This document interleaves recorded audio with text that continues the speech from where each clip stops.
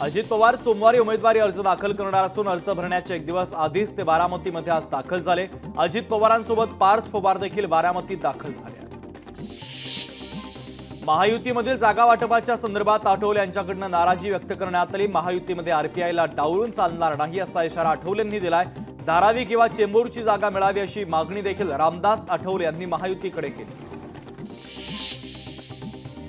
भोर तालुक्यातील शेतकऱ्यांनी यंदा झेंडूच्या रोपांची लागवड केली. दिवाळीच्या निमित्तानं झेंडूच्या फुलांच्या मागणीमध्ये वाढ झाली. झेंडूच्या फुलांना ऐंशी ते शंभर रुपये भाव मिळत असल्यानं शेतकऱ्यांना दिलासा मिळतोय.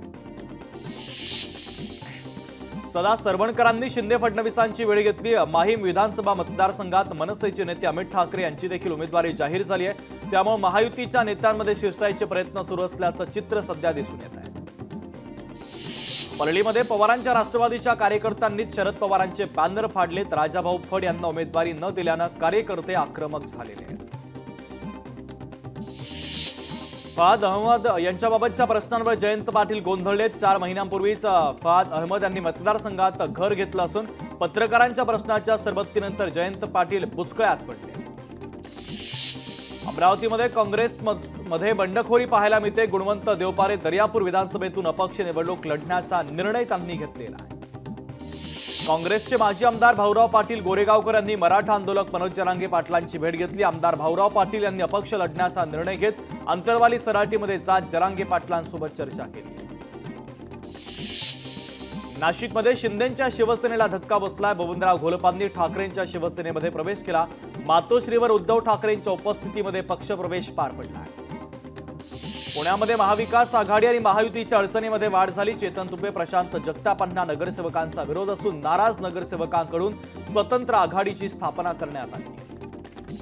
मुंबईतील काही जागांवरून महाविकास आघाडीमध्ये बिघाडीची शक्यता आहे. जागा वाटपावरून काँग्रेस आणि ठाकरे पक्षात कटुता निर्माण झाली असून वर्सोवा वडाळा भायखळ्याच्या उमेदवारीवरून काँग्रेस नाराज असल्याचं दिसतंय. महाराष्ट्रामध्ये आरपीआय पक्षाला महायुतीकडून एकही जागा न दिल्यामुळे आरपीआय पक्षाचे रामदास आठवले यांचे कार्यकर्ते आक्रमक झाले. विधानसभा निवडणुकीमध्ये महायुतीच्या कुठल्याच उमेदवाराचा प्रचार करणार नसल्याचं कार्यकर्त्यांनी घोषित केलं राष्ट्रवादीची तिसरी यादी जाहीर करण्यात आली. यादीमध्ये चार जणांची घोषणा केली. विजयसिंह पंडित यांना गेवराईतून ते दिलीप बनकर यांना निफाडमधून पक्षानं उमेदवारी दिली आहे.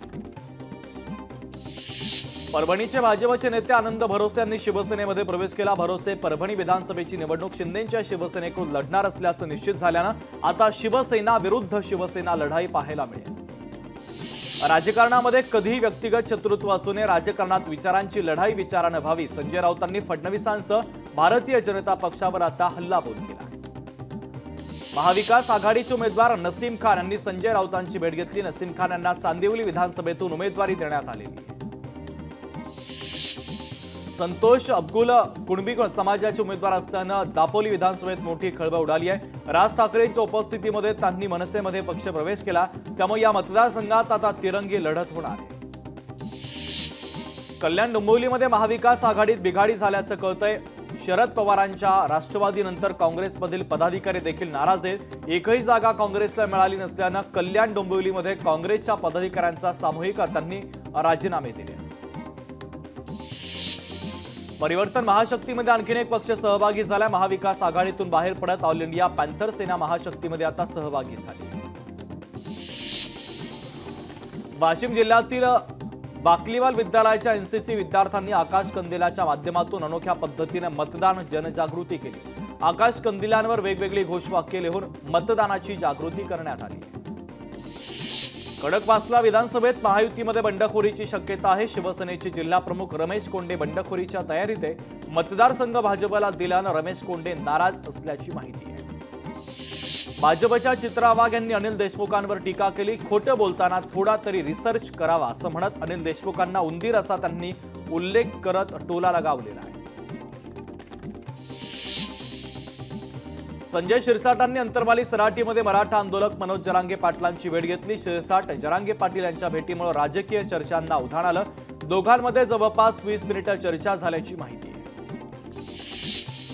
पुण्यामध्ये एकनाथ शिंदेच्या शिवसेनेला धक्का बसला. पदाधिकारी सोमनाथ काशीद यांनी पक्षाला रामराम ठोकला. काशीद यांनी पक्षाच्या सचिवांना आपला राजीनामा सुपूर्द केला. नागपूरमध्ये प्रसिद्ध डोसा विक्रेते शेफ विष्णू मनोहर दिवाळीच्या पर्वावर पुन्हा एकदा नवा विश्वविक्रम करणार आहे. विष्णू मनोहर सलग चोवीस तास डोसा बनवण्याचा विश्वविक्रम आपल्या नावावर कोरणारे. चोवीस तासात जवळपास पाच हजारपेक्षा अधिक डोसा तयार करून ते गरीब अनाथ आणि गरजू लोकांना वाटप करणार लोकशाही मराठी. ऐका पहा जागरूक रहा.